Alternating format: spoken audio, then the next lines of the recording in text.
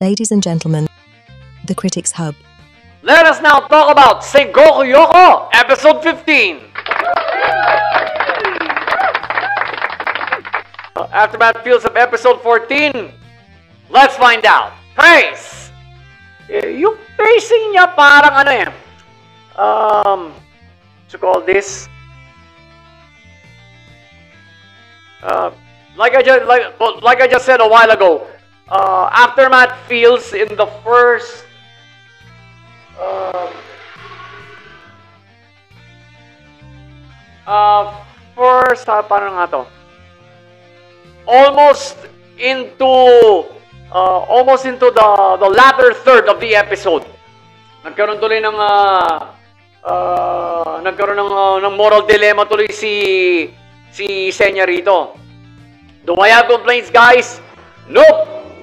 Kala nyo meron, ano? Nope! Hindi, guys. Bakit? Uh, kasi, uh, you gotta understand, kung naparod din nyo ang episode 14, yung, uh, yung nakaraan lang, uh, Senya went all out eh. Eh, in uh, in the two in the two battle in the two fight scenes he was in.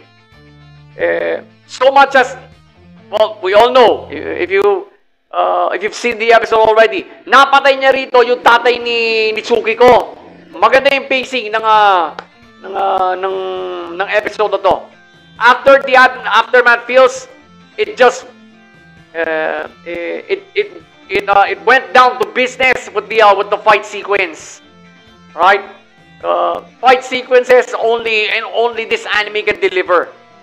So naman, first gear shift uh, was when Tsukiko uh, cooked uh, her father's um, potted rice balls to, uh, to to plead with to plead her case with Shinsuke.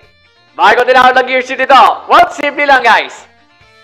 Uh, dito na pinakita ni ni, ni Tsukiko yung kanyang value to to to to her party mates. Alright? Siyempre, babae. Abay, dapat marunong ka magluto. Pero, uh, it, it's, it's, it's quite, it's quite a light-hearted moment for, for the episode kasi, eh, dito pinakita ni Shinsuke kung gaano siya nakakatawa. Second gear shift. Uh, was when so, Senya told, uh, told Tsukiko and the rest of the gang uh, about his, um, uh, about his current goal. Uh, whether we like it or not, na-trauma ang, uh, ang bagong bida ng anime na to sa nagawa niya last episode. Uh, halatang na-trauma siya. Uh, he now, he's now taking a non-violent stance on, uh, on life. He wants to become human. Would you say it's a character development for, for Senya? 50-50. Because uh, in later sequence, in, uh, in the latter third of the episode, uh, he sometimes he needs to fight. Eh, lalo nito, malakas na kalaban nito si Mudo. Final gear shift.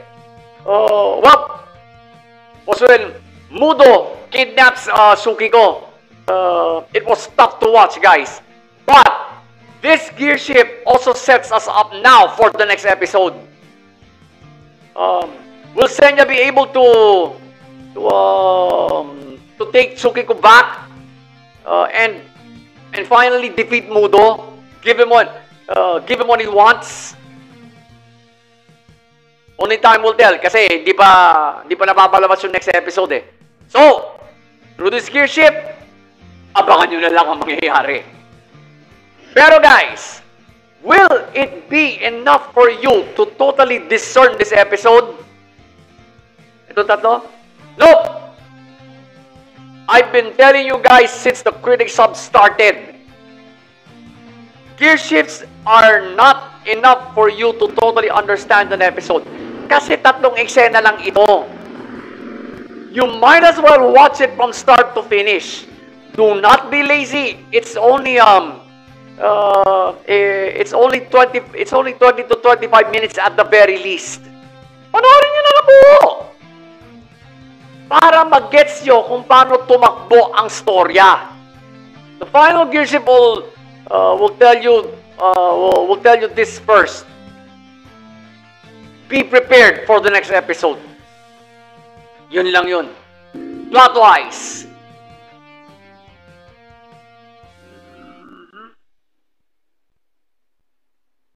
Wala eh. Wala akong naki... Uh, wala akong matandang uh, ano rito eh. Uh, what you call this? Wala akong matandang backstory or side story dito eh. Meron din, pero... Uh, I, uh, I, well, I just neglected, I just neglected it. Therefore, malinis ang blood, guys!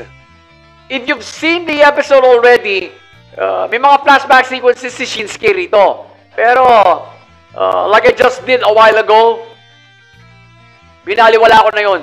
Kasi, uh, I've seen the first score already. And it just, it just, um, uh, it just refreshed my memory about it. Yun lang naman, yun lang naman siguro purpose ng ano eh. It did not, uh, it did not dive deep into it. Hindi naman kailangan eh. Alright?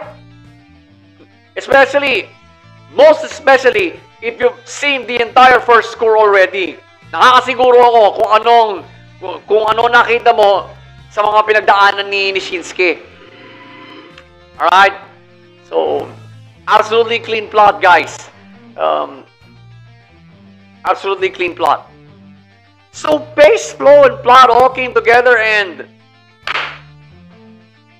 great follow-up to, uh, to, to episode 14. Uh, and uh, we got uh, we got introduced to not one but two characters. Eh, isang good guy, isang bad guy.